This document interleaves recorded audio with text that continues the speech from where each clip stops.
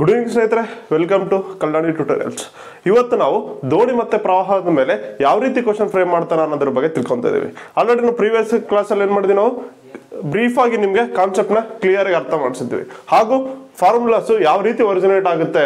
ಯಾವುದು ದೋಣಿಯ ಪ್ರವಾಹ ಕೇಳಿದಾಗ ಮತ್ತು ಪ್ರವಾಹದಷ್ಟೇ ಕೇಳಿದಾಗ, ನಿಂತ ನೀರಿನ ದೋಣಿಯನ್ನು ಕೇಳಿದಾಗ ಮತ್ತು ಮೇಲು ಪ್ರವಾಹವನ್ನು ಕೇಳಿದಾಗ, ಕೆಳ ಪ್ರವಾಹವನ್ನು ಕೇಳಿದಾಗ ಯಾವ ರೀತಿ ಫಾರ್ಮುಲಾ ಒರಿಜಿನೇಟ್ ಆಗುತ್ತೆ ಅಂತ ನಾವು ಆಲ್ರೆಡಿ ಪ್ರೀವಿಯಸ್ ಸೆಕ್ಷನ್ ಅಲ್ಲಿ ನಾವು ಇನ್ ಬ್ರೀಫ್ ಆಗಿ ಎಕ್ಸ್ಪ್ಲೈನ್ ಮಾಡಿದ್ವಿ. ನೀವೇನಾದ್ರೂ ಆ ನೋ ಆ ವಿಡಿಯೋನ ನೋಡಿದ್ದಿಲ್ಲ ಅಂದರೆ ಬೇಸಿಕ್ಸ್ ಒಳಗೆ ಏನು ಮಾಡ್ಕೊಳ್ಳಿ, ಒಂದ್ಸಲ ಆ ವಿಡಿಯೋ ನೋಡ್ಬಿಟ್ಟೆ ನೀವು, ಈ ವಿಡಿಯೋಗೆ ಬಂದ್ರೆ ಏನಾಗುತ್ತೆ ನಿಮಗೆ ನೀಟಾಗಿ ಕಾನ್ಸೆಪ್ಟ್ ಅರ್ಥ ಆಗುತ್ತೆ.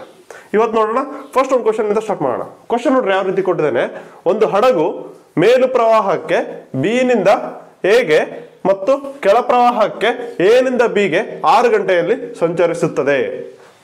ಸ್ಥಿರ ನೀರಿನಲ್ಲಿ ಹಡಗಿನ ವೇಗವು ಹದಿನೈದು ಕಿಲೋಮೀಟರ್ ಪರ್ ಅವರ್ ವೇಗದಲ್ಲಿದೆ. ಅಂತಂದ್ರೆ ಒಂದು ಸ್ಥಿರ ನೀರಿನಲ್ಲಿ ಹಡಗಿನ ವೇಗ ಎಷ್ಟಿದೆ? ಗಂಟೆಗೆ ಹದಿನೈದು ಕಿಲೋಮೀಟರ್ ಇದೆ. ನಂತರ ಏನ್ ಕೊಟ್ಟಿದ್ದಾನೆ? ಮತ್ತು ಪ್ರವಾಹದ ವೇಗವು ಐದು ಕಿಲೋಮೀಟರ್ ಪರ್ ಅವರ್ ಇದೆ. ಅಂದ್ರೆ ಪ್ರವಾಹದ ವೇಗ ಎಷ್ಟಿದೆ? ಗಂಟೆಗೆ ಐದು ಕಿಲೋಮೀಟರ್ ಸ್ಪೀಡ್ ಇದೆ. ಹಾಗಾದರೆ ಎ ಮತ್ತು ಬಿ ನ ನಡುವೆ ಇರುವ ಅಂತರವೆಷ್ಟು ಅಂತ ಕೇಳಿದ್ದಾರೆ. ಇಲ್ಲಿ ನೋಡ್ರಿ ಸ್ನೇಹಿತರೆ ಕ್ವಶನ್ ಯಾವ ರೀತಿ ಫ್ರೇಮ್ ಆಗಿದೆಪ್ಪ ಅಂದ್ರೆ?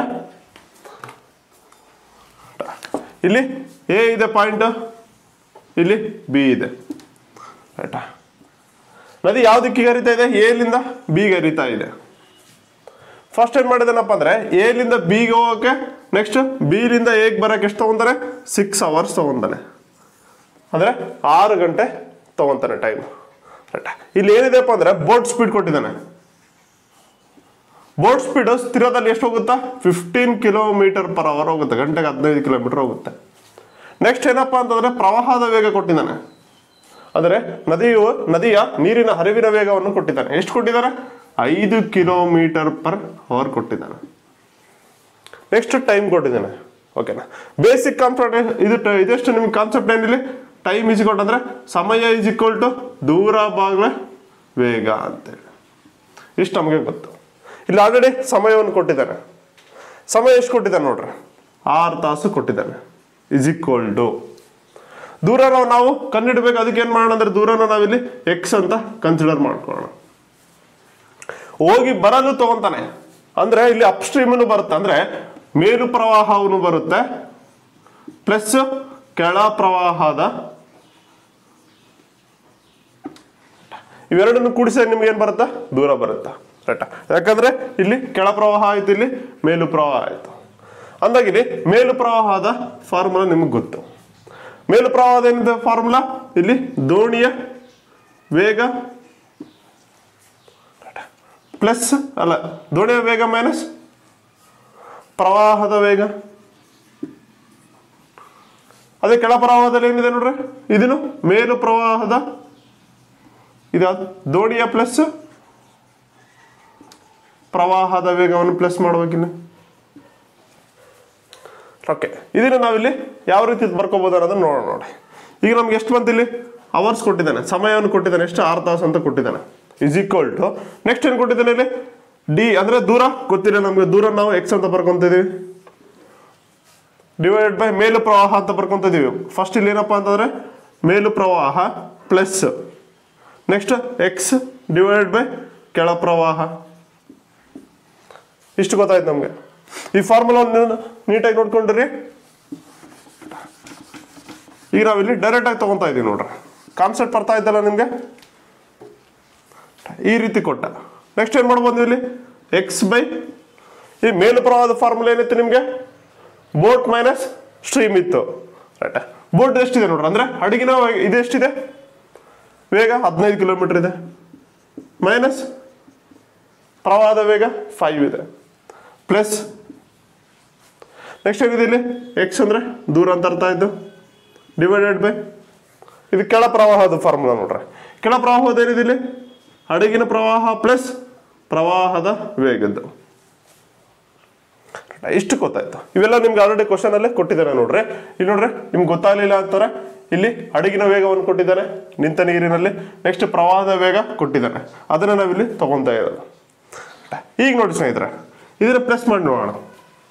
ಇಲ್ಲಿ ಏನಾಗುತ್ತೆ ಹದಿನೈದರಲ್ಲಿ ಐದು ಹೋದ್ರೆ ಐದು ಹತ್ತಾಗುತ್ತೆ ಎಕ್ಸ್ ಡಿವೈಡೆಡ್ ಬೈ ಹತ್ತು ಪ್ಲಸ್ ನೆಕ್ಸ್ಟ್ ಏನಿದೆ? ಹದಿನೈದು ಪ್ಲಸ್ ಐದು ಎಷ್ಟು? ಇಪ್ಪತ್ತು. ಎಕ್ಸ್ ಡಿವೈಡ್ ಬೈ ಇಪ್ಪತ್ತು. ಇದನ್ನ ನೀವು ಲಾಸ ತಗೊಂಡು ಸಾಲ್ವ್ ಮಾಡಿದಾಗ ಏನಾಗುತ್ತೆ ನೋಡಿ ಇಲ್ಲಿ? ಇಪ್ಪತ್ತು. ಲಾಸ ಬರ್ತದೆ ಅನ್ಕೊಳ್ಳಿ ಎರಡು ಇಂಟು ಒನ್. ಅಂದಾಗ ಟೂ ಎಕ್ಸ್ ಪ್ಲಸ್ ಎಕ್ಸ್ ಅಂದರೆ three X divide by twenty ಆಯಿತು. ಅಂದರೆ three X divide by twenty ಏನಿಲ್ಲ? ಸಿಕ್ಸ್ ಇರುತ್ತೆ ನೋಡ್ರಿ ಇಲ್ಲಿ, ಯಾವಾಗಲೂ. ಯಾಕಂದರೆ ಕೆಳ ಪ್ರವಾಹ ಮತ್ತು ಮೇಲು ಪ್ರವಾಹಕ್ಕೆ ಎಷ್ಟು ತಗೊಂತಾನೆ? ಆರು ತಾಸು ತೊಗೊತಾ ಇರ್ತಾನೆ. ಇದನ್ನು ನಾವಿಲ್ಲಿ ಸಾಲ್ವ್ ಮಾಡ್ಬೋದು ನೋಡ್ರಿ. ಆರು ಗಂಟೆ ಇದೆ. Is equal to three X ಬಾಗ್ಲೆ ಇಪ್ಪತ್ತಂತ ಬಂತು. ರೈಟಾ ಇಲ್ಲಿ ಎಂಟರ್ ಏನಿದೆ ಇಲ್ಲಿ ನಿಮಗೆ ಕಿಲೋಮೀಟರ್ ಪರ್ ಅವರ್ ಅಲ್ಲಿ ಇದೆ ಇದನ್ನು ನಿಮ್ಗೆ ಟೈಮ್ ಏನು ಕೊಟ್ಟಿದ್ದಾನೆ? ಅವರಲ್ಲಿ ಕನ್ವರ್ಟ್ ಅವರ್ ಅವರಲ್ಲಿ ಕೊಟ್ಟಿದ್ದಾನೆ. ಹಂಗಾಗಿ ನೀವು ಇದನ್ನು ಕನ್ವರ್ಟ್ ಮಾಡುವ ಅವಶ್ಯಕತೆ ಇಲ್ಲ. ಇಷ್ಟು ಬಂತು ನಮಗೆ. ಇಷ್ಟು ಬಂದಾಗ ಏನಾಗುತ್ತೆ ನೋಡ್ರಿ ಇಲ್ಲಿ? ಅಂದರೆ ಇಲ್ಲಿ ಭಾಗಕಾರ ಇದ್ದಿದ್ದು ಈ ಕಡೆ ಹೋದಾಗ ಏನಾಗುತ್ತೆ ನಿಮಗೆ? ಗುಣಕಾರ ಆಗುತ್ತೆ. ಅಂದರೆ ನೋಡ್ರಿ ಸ್ನೇಹಿತರೆ, ಇಲ್ಲಿ ಆರು ಇಂಟು ಇಪ್ಪತ್ತು ಇಸ್ ಮೂರು ಎಕ್ಸ್ ಆಯ್ತು. ಇನ್ನು ಇನ್ನೂ ಏನ್ ಮಾಡ್ಬೋದು ಇಲ್ಲಿ? ಎಕ್ಸ್ ಇಲ್ಲೇ ರಿಮೈನ್ ಮಾಡಿ ತ್ರೀ ಈ ಕಡೆ ತಗೊಂಬಂದಾಗ ಏನಾಗುತ್ತೆ ಇದು? ಬಾಗ್ಲೆ ಆಗುತ್ತಾ? ಅಂದ್ರೆ ಈಗ ಟೋಟಲ್ ಆಗಿ ಫಾರ್ಮುಲಾ ಆಗುತ್ತೆ ನೋಡ್ರಿ ಎಕ್ಸ್ ಇಸ್ ಈಕ್ವಲ್ ಟು ಆರು ಇಂಟು ಇಪ್ಪತ್ತು ಬಾಗ್ಲೆ ಮೂರು. ಅಂದಾಗ ಇಲ್ಲಿ ನೋಡ್ರಿ ಸ್ನೇಹಿತರೆ, ಮೂರ ಒಂದ್ಲೆ, ಮೂರ ಎರಡ್ಲೆ. ಎರಡು ಎರಡ್ಲೆ, ನಾಲ್ಕು ಅಂದ್ರೆ ನಲವತ್ತು ಕಿಲೋಮೀಟರ್ ಏನಿದೆ? ಒಟ್ಟು ದೂರ ಇದೆ ಅಂತ ಗೊತ್ತಾಯ್ತು. ಅಂದ್ರೆ ಎ ಇಂದ ಬಿಗೆ ಡಿಸ್ಟೆನ್ಸ್ ಎಷ್ಟಿದೆಯಪ್ಪ ಅಂತಂದ್ರೆ ನಲವತ್ತು ಕಿಲೋಮೀಟರ್ ಡಿಸ್ಟೆನ್ಸ್ ಇದೆ. ಇಲ್ಲೇನು ಕೇಳಿದಾನೆ ಕ್ವಶನ್ ನಿಮಗೆ? ಎ ಮತ್ತು ಬಿ ನ ನಡುವೆ ಇರುವ ಅಂತರವೆಷ್ಟು ಅಂತ ಕೇಳಿದಾನೆ. ಎ ಮತ್ತು ಬಿ ನಡುವೆ ಇರುವ ಅಂತರ ಎಷ್ಟು? ನಲವತ್ತು ಕಿಲೋಮೀಟರ್. ಇದು ನಿಮ್ಗೆ ಅರ್ಥ ಆಗಿದ್ದಿಲ್ಲ ಅಂದ್ರೆ ಇನ್ನೊಂದ್ಸಲ ಬ್ರೀಫ್ ಆಗಿ ಎಕ್ಸ್ಪ್ಲೈನ್ ಮಾಡ್ತೀನಿ ನೋಡ್ರಿ, ಒಂದ್ಸಲ ಶಾರ್ಟ್ ಕಟ್ ಆಗಿ. ಒಂದ್ಸಲ ನೋಡಿ ಸ್ನೇಹಿತರೆ, ಇಲ್ಲಿ ಫಸ್ಟ್ ಏನ್ ಮಾಡಿದ್ವಿ ನಾವು ಇಲ್ಲಿ? ತಗೊಂಡ್ವಿ. ಫಸ್ಟ್ ಏನು? ಮೇಲು ಪ್ರವಾಹ ಮತ್ತು ಕೆಳ ಪ್ರವಾಹದ ಫಾರ್ಮುಲಾ ತಿಳ್ಕೊಂಡ್ವಿ. ಆಯ್ತಾ? ಅಂದ್ರೆ ಏನು? ಬೋಟ್ ಮೈನಸ್ ಸ್ಟ್ರೀಮ್ ಅಂತ. ಅಂದ್ರೆ ಹಡಗಿನ ಹಡಗಿನ ಇದು ಯಾವುದು ಸ್ಪೀಡ್ ಮೈನಸ್ ಇಲ್ಲಿ ಪ್ರವಾಹದ ಸ್ಪೀಡ್ನ ಮಾಡಿದ್ವಿ. ನೆಕ್ಸ್ಟ್ ಕೆಳ ಪ್ರವಾಹ ತಗೊಂಡ್ವಿ. ಇವೆರಡನ್ನು ಕೂಡಿಸಿದಾಗ, ಅಂದ್ರೆ ಕೆಳ ಪ್ರವಾಹ ಮತ್ತು ಮೇಲು ಪ್ರವಾಹಕ್ಕೆ ಹೋಗಿ ಬರಲು ಆರು ತಾಸು ತಗೊಂತಾರ ಅಂತ ನಾವು ಇಲ್ಲೇನು ಈಕ್ವೇಟ್ ಬರ್ಕೊಂಡ್ವಿ. ಬರ್ಕೊಂಡ್ಬಿಟ್ಟು ಏನ್ ಮಾಡಿದ್ವಿ ನಾವು ಇಲ್ಲಿ? ಇದನ್ನ ಮೇಲು ಪ್ರವಾಹ ಮತ್ತು ಕೆಳ ಪ್ರವಾಹನ ಇಲ್ಲಿ ಪ್ಲಸ್ ಮಾಡಿದ್ರೆ ಎಷ್ಟು ಬಂತು ನಿಮ್ಗೆ? ತ್ರೀ ಎಕ್ಸ್ ಪ್ಲಸ್ ಟ್ವೆಂಟಿ ಬಂತು. ತ್ರೀ ಎಕ್ಸ್ ಪ್ಲಸ್ ಟ್ವೆಂಟಿ ಎಷ್ಟಕ್ಕೆ ಇದು? ಆರು ತಾಸಿಗೆ ಆಯ್ತು. ರೈಟ್ ಅಂದ್ರೆ ಆರು ಗಂಟೆಯಲ್ಲಿ three X divide by twenty ಅಂತ ಬಂತು. ಮೇಲು ಪ್ರವಾಹ ಮತ್ತು ಕೆಳ ಪ್ರವಾಹನ ಸಾಲ್ವ್ ಮಾಡಿದಾಗ. ಅವಾಗ ಏನಾಗ್ತಿದ್ವಿ ನಾವಿಲ್ಲಿ? ಸಾಲ್ವ್ ಮಾಡಿದಾಗ ಎಷ್ಟು ಬಂತು ನಿಮ್ಗೆ ಇಲ್ಲಿ? ಟ್ವೆಂಟಿ ಈ ಕಡೆ ಹೋಯ್ತು, ಮತ್ತೆ ತ್ರೀ ಏನಾಯ್ತು? ಬಾಗ್ಲೆ ಆಗುತ್ತೆ ಇಲ್ಲಿ. ರೈಟ್ ಆಮೇಲೆ ಏನಾಯ್ತು? ಎಕ್ಸ್ ಇಸ್ ಟು ನಿಮಗೆ ನಲವತ್ತು ಕಿಲೋಮೀಟರ್ ಅಂತ ಆನ್ಸರ್ ಬಂತು. ರೈಟ್ ಅಂದ್ರೆ ಏನಿಲ್ಲಿ? ನಿಮಗೆ ಎ ಮತ್ತು ಬಿ ಯ ನಡೆ ಇರುವ ಅಂತರ ಎಷ್ಟಪ್ಪ ಅಂದ್ರೆ ನಲವತ್ತು ಕಿಲೋಮೀಟರ್ ನಿಮಗೆ ಆನ್ಸರ್ ಆಗುತ್ತೆ. ರೈಟಾ ಇದೇನಾದ್ರೂ ಫಸ್ಟ್ ಕ್ವಶನ್ ನಿಮಗೆ? ಕನ್ಫ್ಯೂಷನ್ ಆಗಿದ್ರೆ ನೆಕ್ಸ್ಟ್ ಅಲ್ಲಿ ನಿಮಗೆ ಇನ್ನೊಂದು ಕ್ವಶನ್ನ ಹೇಳ್ಕೊಡ್ತೀನಿ ನೋಡಿ.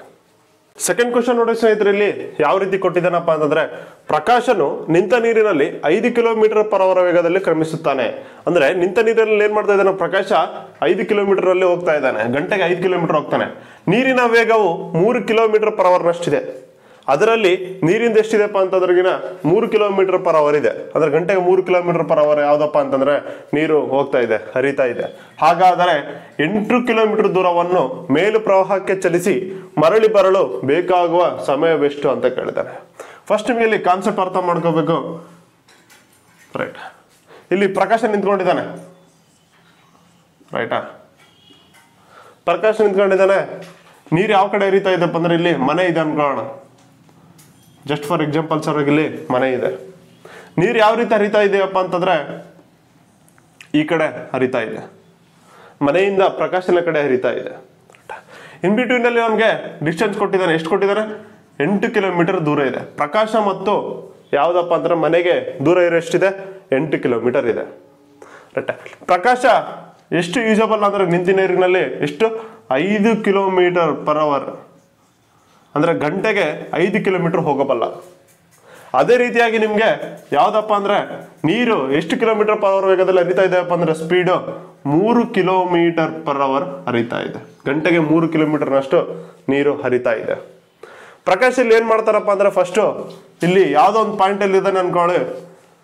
ಏನೋ ಒಂದು ಎಮರ್ಜೆನ್ಸಿ ಕೆಲಸ ಬಿತ್ತು. ಏನು ಮಾಡ್ತಾ ಇದ್ದಾನೆ ಪ್ರಕಾಶ? ಮನೆಗೆ ಹೋಗಿ ಏನೋ ಒಂದು ತರೋದಿದೆ. ಫಾರ್ ಎಕ್ಸಾಂಪಲ್ ಒಂದು ಡಾಕ್ಯುಮೆಂಟ್ ತರೋದಿದೆ. ಹೋಗಿ ಬರೋಕ್ಕೆ ಎಷ್ಟು ಟೈಮ್ ತಗೊಂತಾನೆ ಅಂತ ಕೇಳಿದಾನೆ. ಫಾರ್ ಎಕ್ಸಾಂಪಲ್ ಏನಪ್ಪ ಅಂದ್ರೆ ಪ್ರಕಾಶ ಈ ಕಡೆ ಹೋಗ್ಬೇಕು.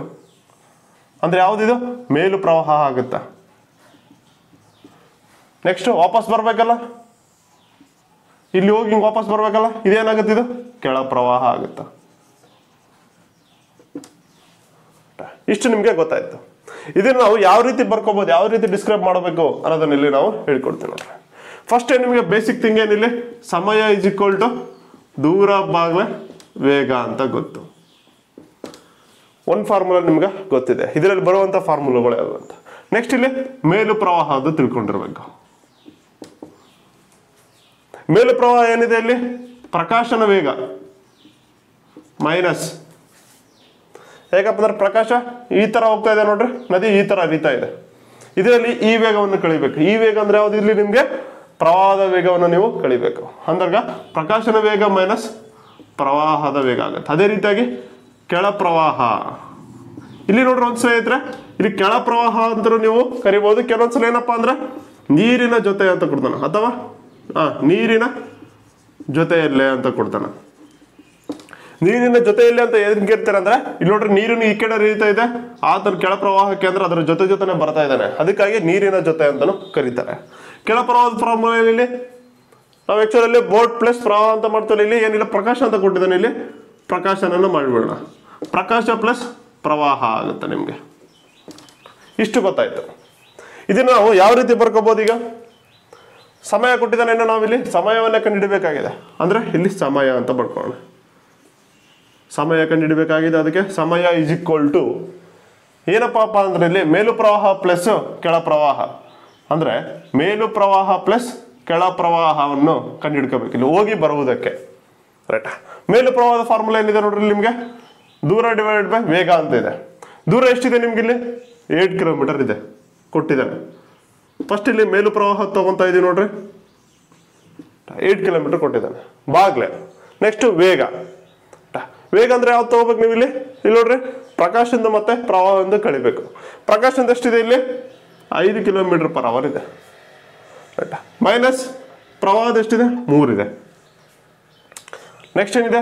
ಪ್ಲಸ್ ನೆಕ್ಸ್ಟ್ ಏನಿದೆ ಇಲ್ಲಿ? ಕೆಳ ಪ್ರವಾಹದ್ದು ಎಂಟು ಕಿಲೋಮೀಟರ್ ದೂರನೇ ಇದೆ ಸೇಮ್ ಇದೆ.